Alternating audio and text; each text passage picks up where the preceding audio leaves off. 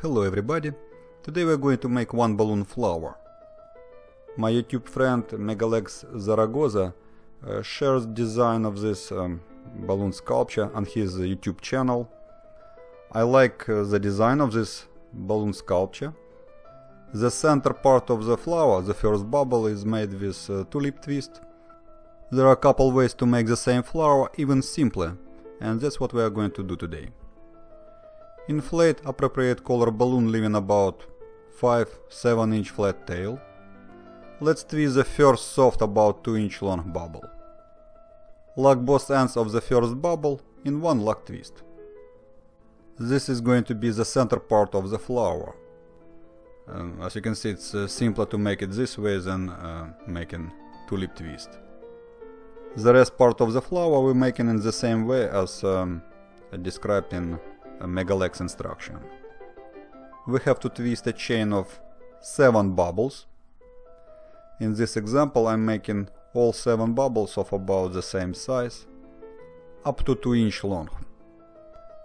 Uh, also it would make sense to make the last 5 bubbles about 1 inch long. Now we have to lock both ends of the chain of the last 5 bubbles in one lock twist and then we force the first bubble through the loop of the last 5 bubbles. We have made the blossom. Now let's make a stem with two leaves. Twist the ninth about 2, maybe 3 inch long bubble. Then we twist uh, the 10th and the 11th soft about 3, maybe 4 inch long bubbles. Lock all ends of the last two bubbles in one lock twist. We have made the leaves and also we have made the flower. Let's fix all bubbles in proper positions. Here's the front view, the back view. I have couple inch long uh, flat tail at the end of the balloon, so I'm going to make the funny tail. I think this way the flower looks even better. And here is a flower with a tulip twist at the center of the blossom. Also, I want to show you another way to make the same flower without tulip twist. This time we're going to work a balloon starting from the opposite end of the balloon. We have to inflate balloon starting from this end, and that's the reason why I'm stretching the uh, end of the balloon. It would make it easier to inflate. Make sure the balloon starts inflating uh, from the opposite end if necessary, you have to pump the uh, first bubble to the uh, very end of the balloon.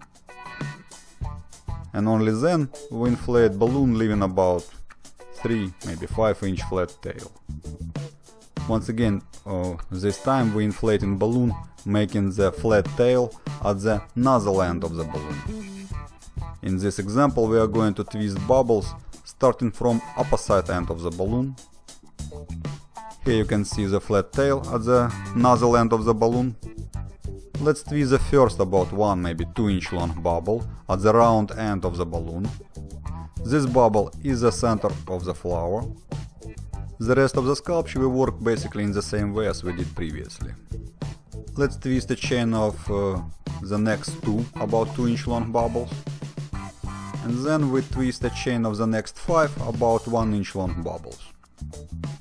The last five bubbles represent the um, uh, petals of the flower. Smaller size petals uh, better hold uh, the first bubble, the center part of the flower. Now we have to lock both ends of the chain of the last five bubbles. And then we force uh, the first bubble through the loop of the chain of the last five bubbles. We have made the blossom. Here's the front view, the side view. Let's twist the nines about 2, maybe 3 inch long bubble. Then we twist uh, the 10s and the 11s, soft about 3 inch long bubbles. We have to lock all ends of the 10s and the 11s bubbles in one lock twist.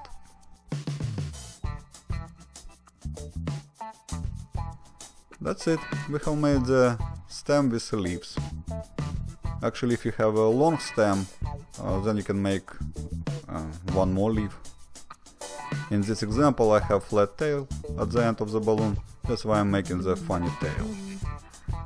Congratulations again, we have made the flower. Here's the back view, the side view and the front view. Now let's uh, put uh, the flowers next to each other, this way we can see the difference. The only difference is the center part of the flower, how we made it. Let's put all flowers together in a bouquet. Once again I want to say thank you to Megalex for sharing this and many other balloon designs. Have fun and happy twisting!